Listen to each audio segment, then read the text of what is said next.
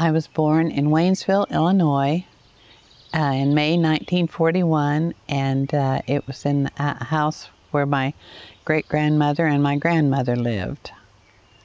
And, and I, I happened to be born there because my parents at the time lived at Downs, Illinois, and uh, my mother wanted to be near her mother when, you know, she was giving birth, so that's why she came down there. I had um, two brothers, Donald and Selby, and I had two sisters, uh, Virginia and Darlene, who uh, had who had already died in an accident coming home from school. And um, my dad was a farmer, and we had happened to move to Downs because I think mom and dad wanted to get away from re any reminder of where she had been killed, where Darlene had been killed. So we, dad got a farm over there by Downs and we moved over there. We probably weren't at Downs over a year and we moved away from there um, probably in March of 41, I mean of, of um, 42. And we moved down to Waynesville here, uh, right up the road to what was known as the Niebel place. Some people named Niebel owned it. And uh, so Dad lived there, and we lived there, and Dad farmed that. And uh, then a farm became available over at Rock Creek, by Rock Creek, which was probably uh, two or three miles away. I loved growing up there it it was a big two-story house and, and a great big barn and lots of room to play in and I did and there was a large corn crib also and there was a large chicken house and um, a well house over the deep well. And the house property you might say um, there was a lot of lot of area um, over the, the barn lot and you know and all around the outbuildings. And it was a large yard and, and um, just a lot of room to play in and feel open and free in. I would ride my tricycle and bike when I got a little bit bigger down the lane and then down down the road up to the cemetery because it had there was always a lot of wildflowers that grew out along the bank and you know in the summertime and I loved them and I'd pick them and there was also poison ivy along in there and I, I would catch it every year and I never did learn my lesson. Every year I'd go back and I'd get a terrible case of poison ivy. The well house was down close not very far from the road and I, I would just think, oh, if I can just make it over there and I could get me a cold, cold, good, sweet drink. And it just tasted so wonderful. And sometimes I would strip down and I would get, there were two, two big tanks, water tanks, uh, one for the cows to water out of and one, one that Dad put the milk cans in, you know, after he would finish milking until the milk, milkman picked them up. And, and so there were two tanks there and I would you know, get, get in them and cool off. There were lots of little bugs and scummy worms and everything else in the water, but it, I didn't care. I was a little kid, I was hot, steaming hot, and so I just wanted to cool off.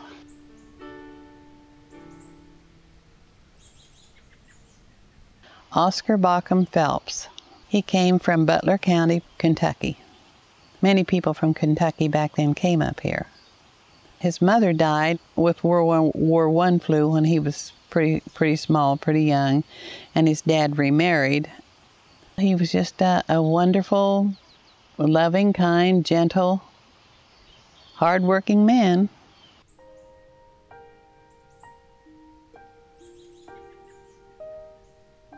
Mom was very hardworking too, and um, she could really play the piano and she was a very good seamstress. She loved loved to take care of her chickens. She always had a lot of chickens, and she, you know, she loved to take care of her chickens. There was a lot of work for everyone because it was a farm, and it was, you know, there was just a lot to, to lot to do with all of the livestock, and all of the chickens and so on. And and uh, I had to bring in. Uh, trying to remember how many buckets of coal at night and then a how many gallon bucket of cobs. As soon as I got off the bus, I had to change my clothes and put on my old work clothes and hike out there and uh, go in that dark building and, you know, bring in the coal and cobs. And I would, boy, throw it in just as fast as I could and, and to get it back up to the porch, set it on the back of the porch. And then I had all those eggs together because mom had a lot of chickens. I had all those eggs together and whenever I got a little bit bigger, then I had had to wash them too, because she sold them, you know. There was just plenty of work to do always. Oh yeah, it was it was cold because it was a big two-story house and it did not have central central heating, you know. There was no furnace. There was a coal stove in the living room and there was one in the kitchen and uh, the bedrooms were cold you'd run out at night and warm your pillow, you know, real good, and then run in there and flop in bed as quick as you could and pull the blankets up. But it, but it, it was cozy. It was cozy. It really was.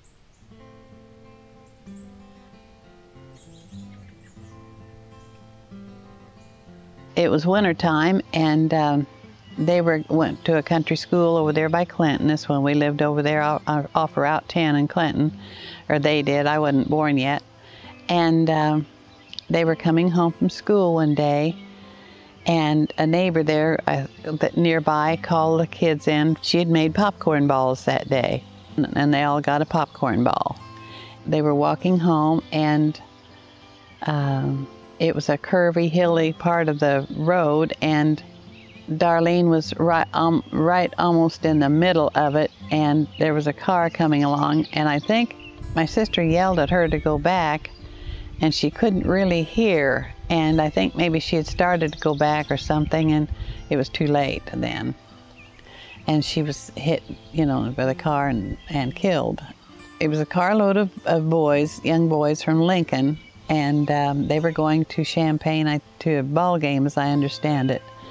And the driver had his dad's new car and was trying to see how fast it would go.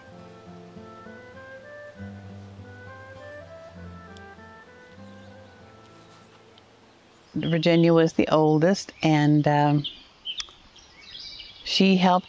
She worked like a man. She helped with the milking, and she helped outside, and and um, she helped mom inside, and and uh, just you know, she just had a lot of work to do because she was the oldest child. She um, got married at an early age, and uh, that didn't work out. She had a she had a little girl, Linda, and um, they divorced, and uh, her and her first husband divorced, and she got a job in Bloomington, and she lived up there. And Linda stayed with us, and uh, Virginia would come home on the weekends.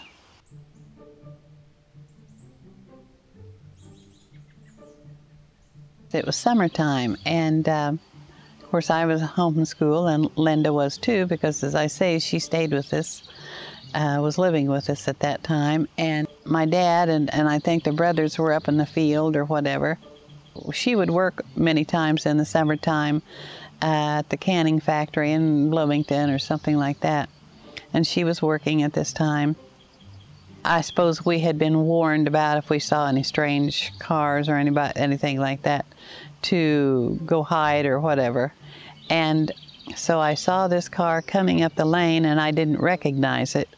And about the only vehicles that came up our road and up our lane were the school bus and the milkman and the, you know, and uh, uh, the mail mailman. And they were, were coming on up to the house. And I did not recognize the car. It looked like just a man in it. So I took Linda and hustled out the back door of that big house and out through the corn patch the, you know, the sweet corn patch and I think across the field, across the pasture and into the big cornfield.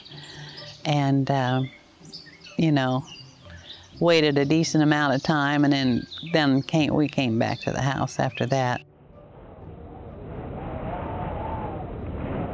We didn't have any storm cellar, and Dad was very much afraid of, of, of uh, storms because he had come from Kentucky, which had a lot of them, you know. So whenever one was coming, why, he would hustle us into the car and go over to where my cousins used to live because there was an old storm cellar there.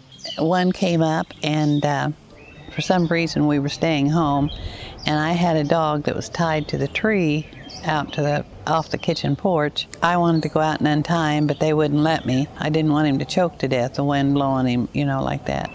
And anyway, uh, it, the storm got strong enough that mom and dad were holding holding the doors shut as best they could, like the kitchen door and maybe the front door. I don't remember which.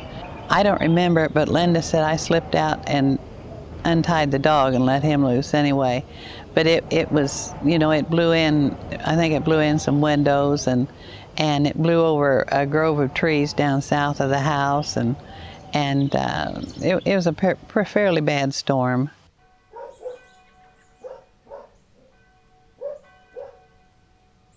Oh, I love to go to Grandma Johnson's house where she was always so good to us and all like that. And she'd always fix us, she called it a piece, you know, bread with jelly or jam or something or other on it. Sometimes she would let me run uptown and get her a loaf of bread or do something or other like that. She and my grandfather, Harry Johnson, had divorced many years before, and um, he had made life very, very hard for her. And she got to the point where she couldn't take it anymore and she just left. And uh, so she, she, and her mother lived in a, ta- in a house in town. She had two or three or so boarders uh, over the years. Sometimes she would have a single man who would board in, in one spare bedroom, and um, then uh, she had an upstairs that she sometimes rented out to maybe a small family or something like that. But I think many women did back then. It helped make helped them make extra money, and because not very many w- women worked back then. Well, I had to go to school, so I just went to school, and uh, I enjoyed it as much as I could, and I took part in whatever I could. I, I lived in the country, so it wasn't as easy for me as it was some of the kids that lived in town because I had to have a way to get back and forth, you know, to the different activities. But I was a cheerleader and I was in different musical groups and I wrote for the school newspaper. I always loved to sing, I loved music. I did my share of dating, several different boys.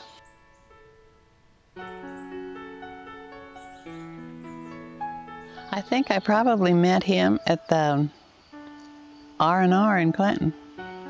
And probably through my girlfriend that lived next door to me. She had dated him, and uh, when she was broken up with her regular boyfriend, and and uh, I think she introduced him to me. If I remember right, that's how it was. And anyway, we just dated, got along well, and all like that, and uh, we finally got married. We got married in my home at my mom and dad's house.